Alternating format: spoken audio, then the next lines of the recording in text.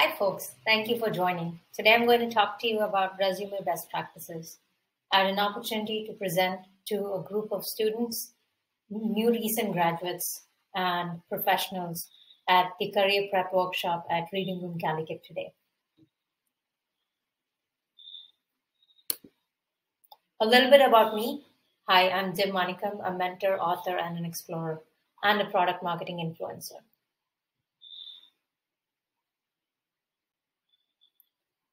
Over the past couple of years, I had three core values inspire, influence, and impact. This has helped me decide who I want to be and how I would think about my team.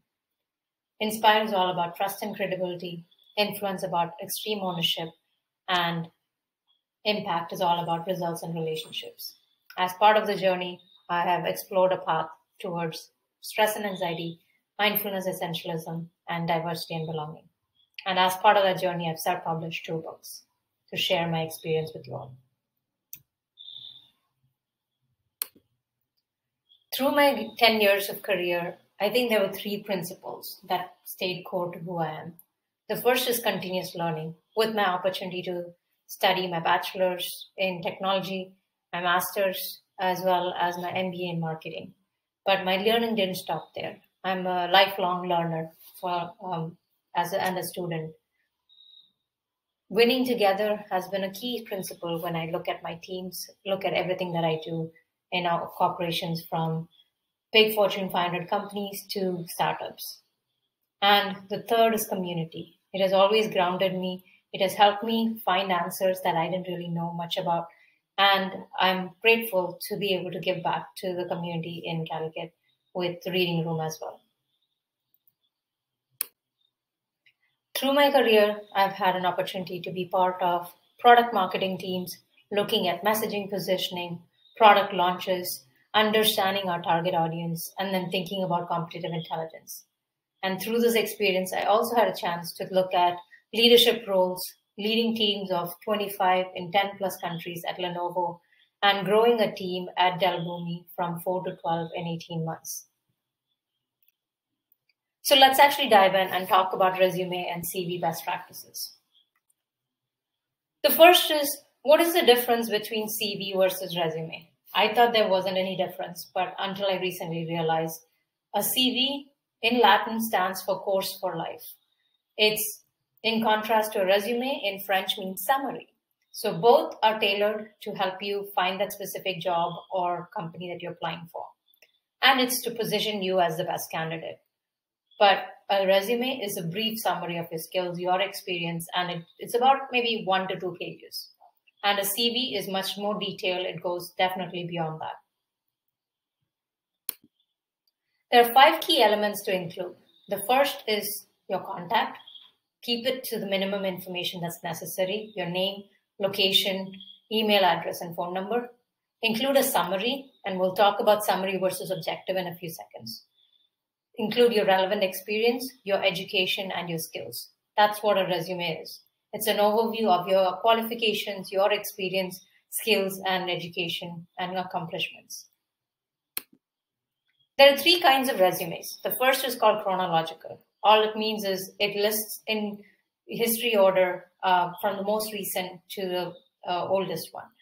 When you think about functional or skill based, this is where you're including information about things that you have done where it talks about your skills and your strengths. And then you have combination, which is not used as much. So I would say chronological is probably the most effective and most used today. These are the three formats, and depending on where you are in your career, you can look at these three formats accordingly. Now, if you are a fresher and you're trying to figure out, I don't really have much work experience, how do I make sure I have the most effective resume to put out there? Start with that objective, that summary, if you will. Create and look at your educational achievements, right? Your coursework that you have done, any related projects that you may have, and then look at volunteer experiences and internships and include those relevant wins. Mostly, freshers will have a, a functional resume format. And then, if you're thinking about that professional resume, a few tips. Keep it simple. Don't try to include too many fonts. Uh, I did try that once. Uh, it sounded very cool, but it does not really help. So keep it simple. be consistent with your formatting. Keep it focused, right? Your resume is not a list of everything you have done. It's supposed to tell you a few things and why they should hire you. Have a visual design. So think about how you want your resume to look. And then make sure you're reviewing and editing your resume. Just because you have spent so much time on it, you might miss out a few things. And we'll talk about some of the worst mistakes you can make. There's a website called jobscan.co, which I found beneficial for my teams and for my mentees. We get a chance to review the resume to the job description, and it goes through an ATS system. So, ATS stands for an application tracking system. This is where all your resumes go before it gets picked up by that hiring manager. So, what are those 10 worst resume mistakes you can make? Typos, grammatical errors. There's nothing more putting off than finding a resume where someone's not taken the time to make sure the resume is representing you well. If there aren't much examples, if it sounds very generic and looks like you only know what the job duty is, but not necessarily what you did, trying to have that one size fits all, not really effective. Thinking about your duties versus accomplishments. So we'll talk about how you can translate that. If there's no clear summary, what you're looking for, where your uh, what your vision is, and if there are no action verbs. And I'll tell you what action verbs are in a second. So action verbs are if in your resume you have used the words that are on the left hand side in charge of, hard worker, go getter, think about action verbs instead. Use words like directed, accomplished, achieved. It makes it more actionable and it gives the person reading a better sense of what you can and cannot do. And so Zety.com has a lot of power words you can use. It gives you a lot of examples. So definitely leverage that. And then visual design we talked about, right? Uh, if your resume is somewhere um, like the one that's on the left, where we want to get to is think about your resume that's on the right. Clean, simple, um, communicates all your experiences, your years, communicates your skills. There are different things you can include in a resume don't try to format it accordingly for just for that. And then here's what John Wooden said. He's a coach, a baseball coach, and his story is do not let what you cannot do interfere with what you can. Measure yourself by what, not by what you have, but by what you could accomplish with your ability. Never short sell yourself is exactly the point.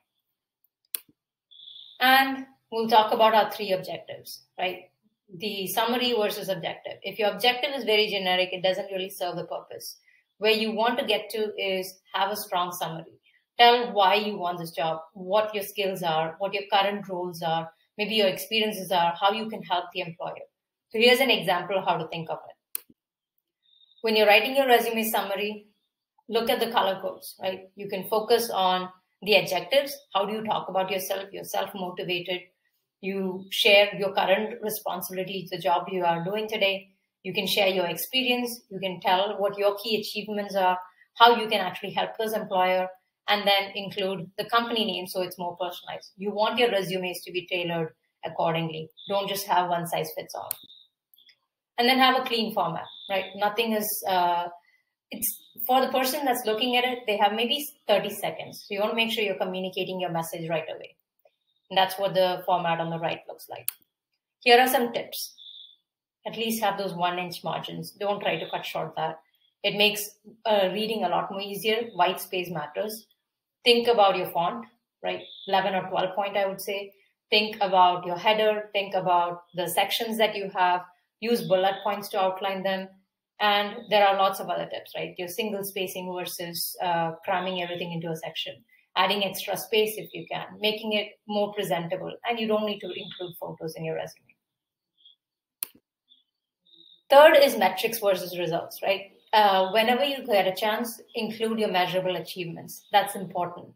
It's easy for us to think that, oh, I don't really have done much. Take that job responsibility and convert it into a resume metric. And then always include your lists, your firsts in your career. It always shows that you are a go-getter and that you're a self-starter in some way. And here are some examples, right? Instead of saying I spearheaded, which was my responsibility, I've actually talked about the result where I was able to turn around a poorly performing district and actually get those uh, value sales from that conversion. So we talked a lot about resumes, the three uh, key areas to focus on. Next, I'm going to tell you a little bit about LinkedIn um, after we go through the, the four areas for growth. That's what you're looking for, right? The metric and the result. Reduction, if I can actually help cost reduction, maybe. And then it's about impact. It changes the dynamics if you can say, hey, I actually helped in driving social media campaign that led to growing maybe 200,000 users, that's more impactful than just saying, oh, I had a multi multi-channel social media campaign. So now let's talk about LinkedIn. And I'll use mine as an example.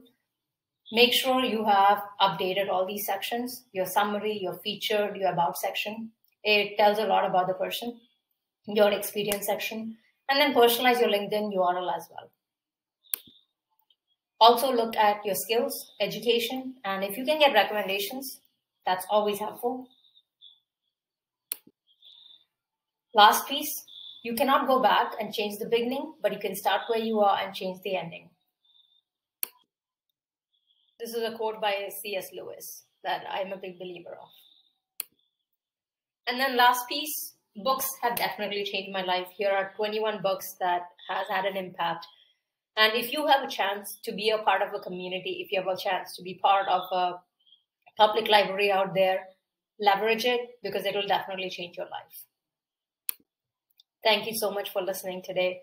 And we look forward to seeing you in our next event at the Reading Room.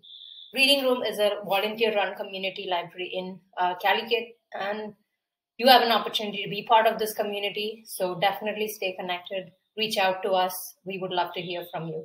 Thank you so much. Have a wonderful day.